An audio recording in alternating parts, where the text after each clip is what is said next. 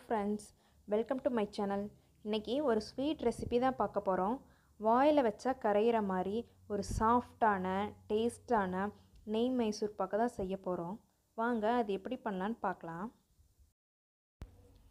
மைசூர்பா செய்யறதுக்கு தேவையான அளவு ஒரு கப் கடலை மாவுக்கு ரெண்டு கப் சர்க்கரை. நான் இன்றைக்கி ரெண்டு கப் கடலை மாவு எடுத்திருக்கேன். அதனால் நாலு கப் சர்க்கரை சேர்த்துருக்கேன். சர்க்கரையை ஒரு அடி கனமான பாத்திரத்தில் சேர்த்துட்டு அதில் கொஞ்சமாக தண்ணி சேர்த்துக்கணும். அதாவது சர்க்கரை நனையிற அளவுக்கு சேர்த்துக்கணும். சேர்த்துட்டு அடுப்பில் வச்சுருங்க.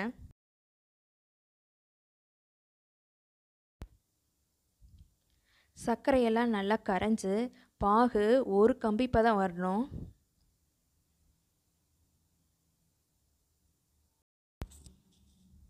சர்க்கரை எல்லாம் கரைஞ்சி நல்லா பொங்கி வருது பாருங்கள்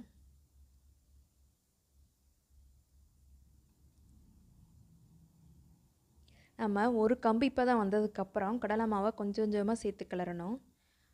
இல்லைனா ஒரு தட்டில் தண்ணி வச்சுட்டு அதில் கொஞ்சமாக அந்த பாகை சேர்த்துட்டு உருட்டி பார்த்திங்கன்னா அது கரையாமல் நல்லா உருண்டு வரணும். இதுதான் பதம். பாருங்கள் நல்லா உருண்டு வருது. இப்போது நாம் வச்சுருக்கிற கடலை மாவை கொஞ்சம் கொஞ்சமாக சேர்த்து கிளறிக்கலாம். ஒரே இதாக சேர்த்துட்டிங்கன்னா கட்டி விழுந்துடும்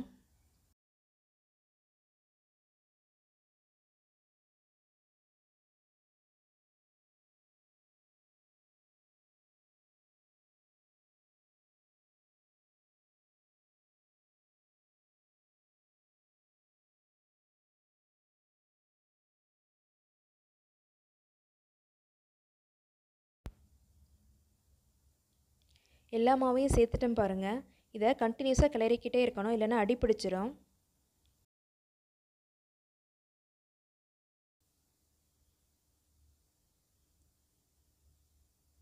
பாருங்கள் நான் கண்டினியூஸாக கிளறிக்கிட்டே இருக்கனால கட்டி எதுவும் இல்லை.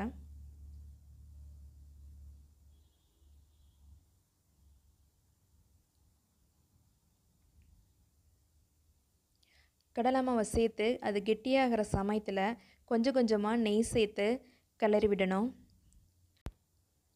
ஒரு கப் கடலை மாவுக்கு ஒன்றரை கப் நெய் எடுத்துக்கோங்க. அந்த நெய்யை கொஞ்சம் கொஞ்சமாக சேர்த்து கிளறி விட்டுக்கிட்டே இருக்கணும். பாருங்கள் நான் கொஞ்சம் கொஞ்சமாக நெய் சேர்க்குறேன்.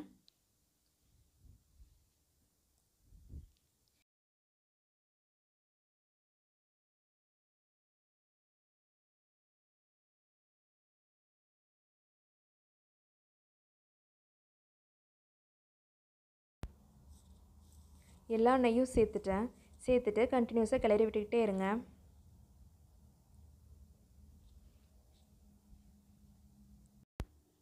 நீங்கள் மைசூர் பாக் செய்ய ஆரம்பிக்கிறதுக்கு முன்னாடி ஒரு பேனில் நெய் தடவி வச்சுக்கோங்க. இல்லை பிளேட் இருந்தாலும் நெய் தடவி வச்சுக்கோங்க. பதம் வர ஆரம்பிக்குது பாருங்கள் சைட்லலாம் நல்லா பொங்கி வருது.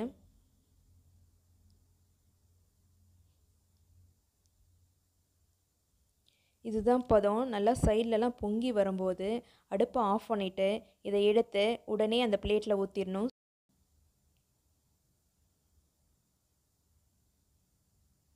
ஊற்றிட்டு ஒரு ஸ்பூன் வச்சு நல்லா அதை மேலே ப்ரெஸ் பண்ணி விட்டுருங்க. நல்லா ப்ரெஸ் பண்ணி விட்டதுக்கப்புறம் சூடாக இருக்கும்போதே ஒரு நைஃப் வச்சு நல்லா பீஸ் போட்டுருங்க. ஏன்னா ஆறிடுச்சுன்னா நம்மளால் பீஸ் போட முடியாது. பாருங்கள் எல்லாம் பீஸ் போட்டாச்சு. இப்போது ஒவ்வொரு பீஸாக எடுத்துடலாம். ஃபஸ்ட்டு நாலு சைடும் எடுத்து விட்டுருங்க. எடுத்து விட்டுட்டு கார்னர் பீஸ்லேருந்து எடுங்க.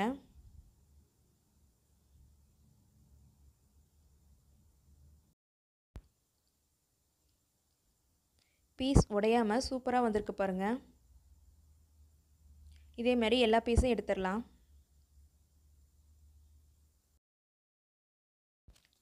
சாஃப்டான மைசூர் பாக் ரெடி ஆயிடுச்சு நீங்கள் சரியான அளவில் போட்டு செஞ்சீங்கன்னா மைசூர் பாக் சூப்பராக வரும்.